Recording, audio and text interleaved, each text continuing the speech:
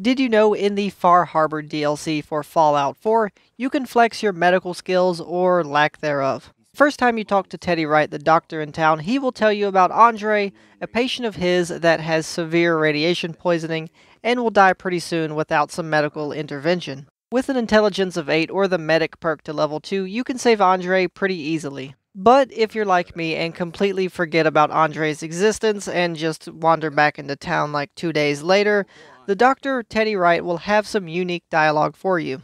He'll inform you that he lost another patient and that it's Andre, and the more I think about it, it sounds like Teddy loses a lot of patients if he has to rely on random people from the mainland to do his job. Actually, I'm starting to doubt if uh, Teddy is a doctor at all.